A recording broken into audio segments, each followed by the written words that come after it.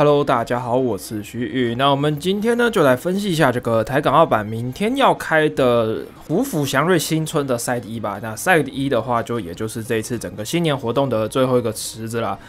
总共三池嘛，那三池的话之后应该会再做个呃总总使用的分析之类的。好，那我们今天的话就是来讲一池的庄子。庄子的话没意外，应该就是明天排行榜的排康对应啦，因为它的技能组其实相对性的来说，我觉得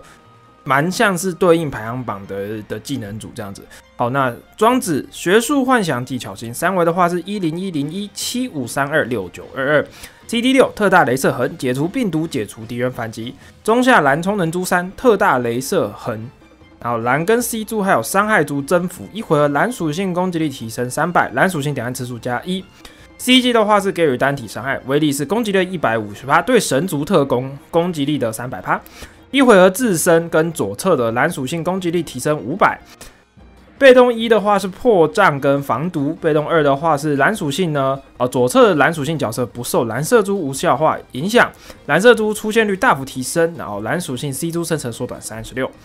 被动三的话是一回合破坏二十个以上蓝色珠，自身以六百趴的攻击力残甲一般攻击掉落一个蓝破坏珠，啊，一回合破坏二十个以上蓝色珠呢，到回合结束为止，自身跟蓝属性。的左侧角色呢，呃，攻击力提升五千，一回合最多发动十次。被动四的话是一回合破坏五十个以上蓝色珠，好，蓝属性点按次数加二，掉落一个蓝破坏珠。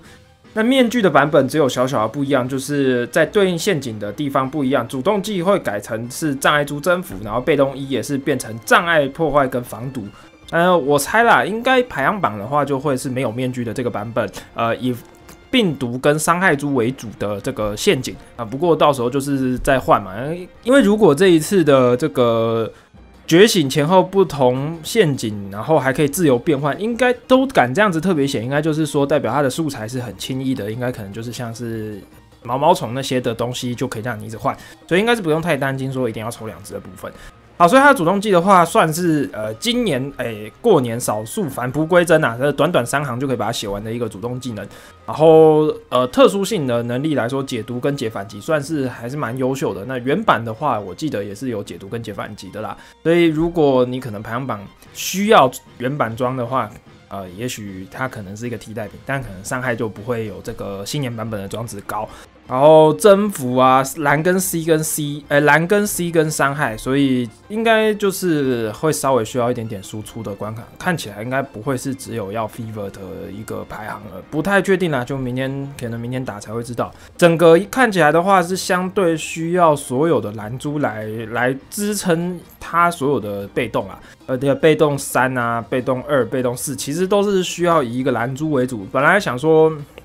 配这个蓝属性出出现率大幅提升，可以配个像是呃雨的那种蓝转 C 调。嗯，看到被动三可能就没办法，因为一定要二十个以上蓝色珠。C 珠的话不算是一般的蓝色珠哦，所以这个大家要去注意一下。会变成说你一定又要吃蓝色珠，然后你又要这个所谓的。呃，射出提升，所以大部分的时间还是会是靠它的增幅以及其他属性的 C，好，就是其他颜色转 C 调的呃被动去来扛住它的一个伤害啦。呃，不过这样子整体看起来的话，伤害面应该是不会到特别特别的高。但是，呃，如果排行榜有做球反击或者是病毒之类的话，嗯，应该庄子就会应该是都会需要上。不过我想，也许